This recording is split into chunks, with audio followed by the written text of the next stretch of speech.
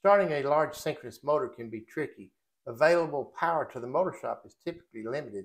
We can't just apply voltage across line to this motor.